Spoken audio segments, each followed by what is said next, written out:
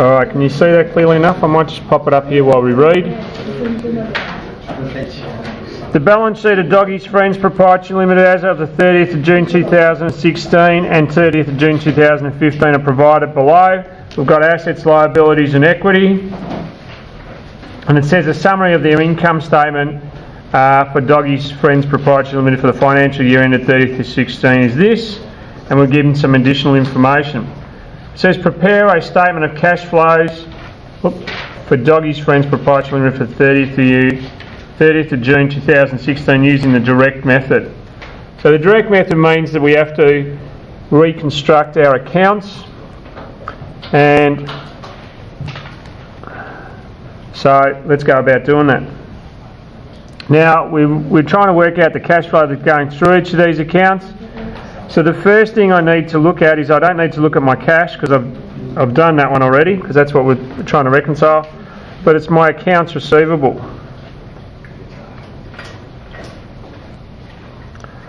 Now my accounts receivable is an asset account so the opening balance will be on this side of the ledger. And my, whoops, hang on, sorry, let me get that right. Let me start that on the line down. My opening is 22,800 and my closing is 25,500.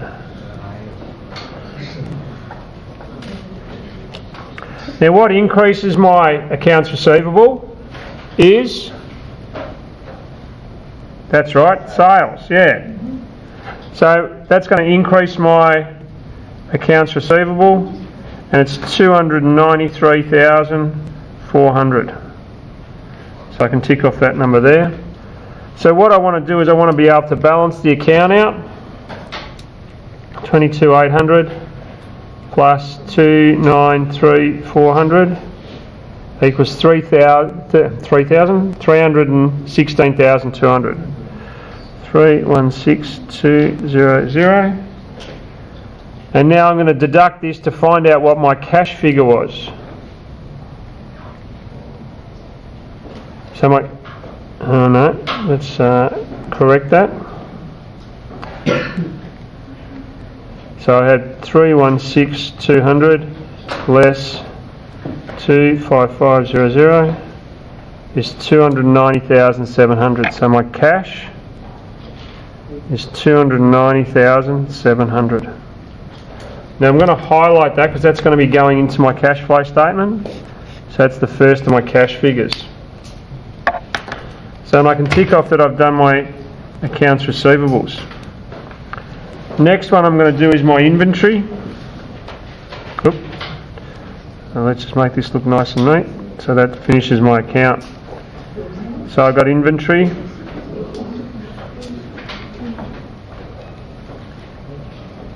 My opening balance in my inventory is 56,700 and my closing balance is 54,000.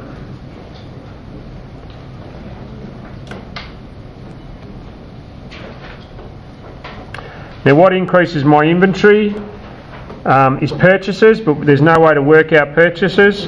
But what decreases my inventory is my cost of sales.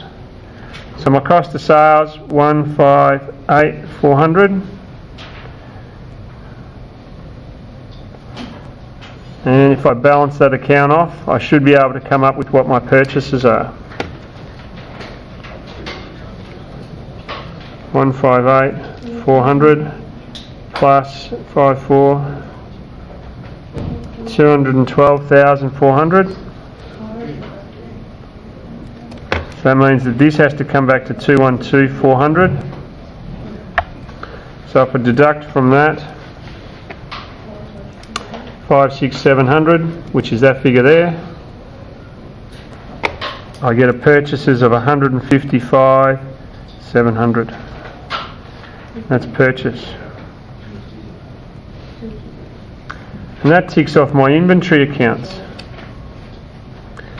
Now, my purchases go through accounts payable, so that's the next thing I need to do.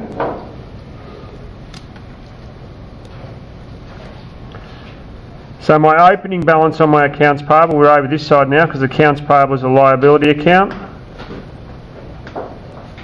And my closing balance is 10,200.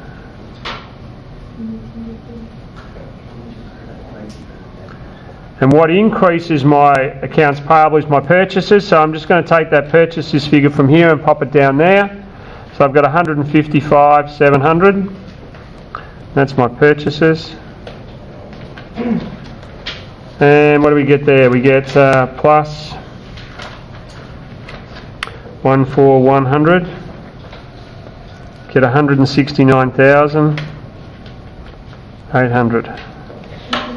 169 800 so my cash that I now this is a cash payment will be the difference between there and there. So let's have a look. Minus 10200 equals 159 600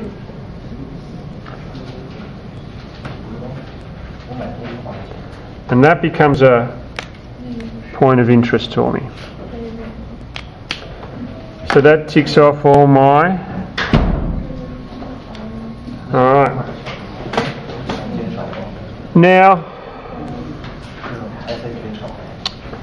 I've now nailed um, three of the uh, biggest accounts.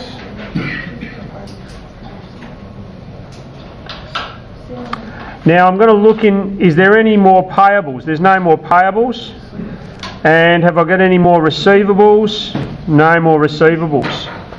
So I could almost indicate, I could almost say that my operating activities are nearly finished. Now the other figures that I'm going to look at is I've got my interest expense here. It doesn't have any interest receivable or interest payable, so I could assume that that was a cash amount. Because uh, there's no receivables or payables up here of interest. The other thing that I'm looking at is my tax expense. There's no tax payables up here, so I could assume that that was too a cash item as well. Now, have I got any accrued expenses or prepaid expenses?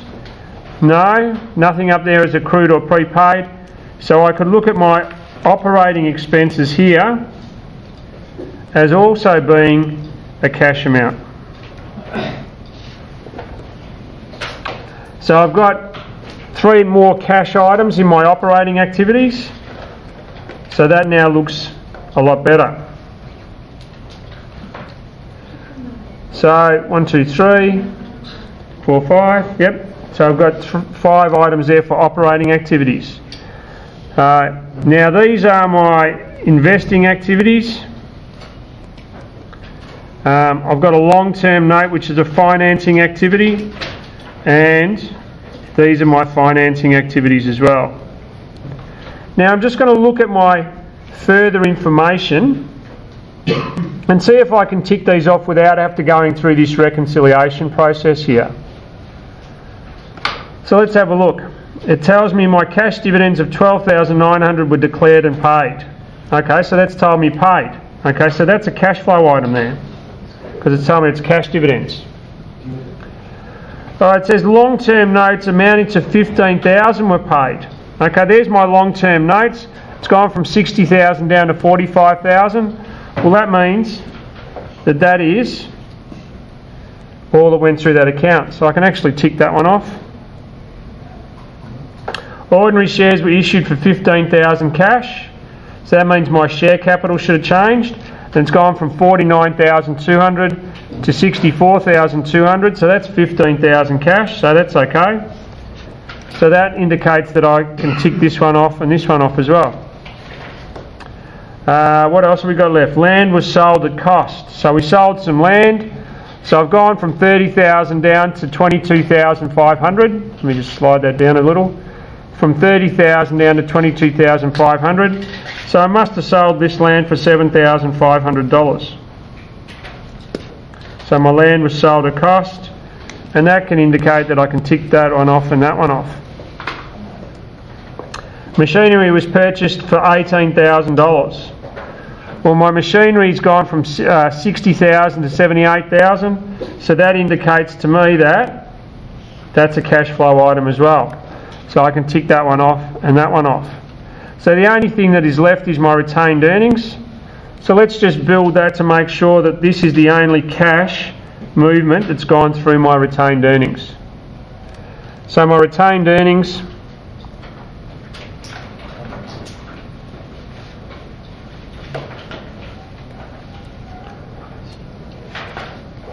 Now my retained earnings is a liability account. So I had an opening balance of 40,200 and a closing balance of 58,800. Now what increases retained earnings is profit. So there's my profit figure there. So I've got profit of 31,500 which will give me 71,700. So if I'm going to balance the account off, I've got to come back to that.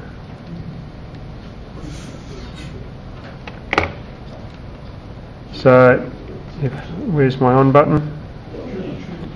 So if I've got 71,700 less 58,800 equals 12,900, which is that amount that's down there.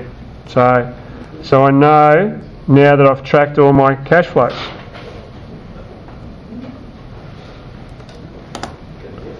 So now I can say I've ticked off all my accounts. That was my last account to tick off. Obviously my depreciation was 7,200. It's gone from 12,600 to 19,800, which indicates that I can tick off that item there. So I've ticked off every item in my balance sheet and my income statement.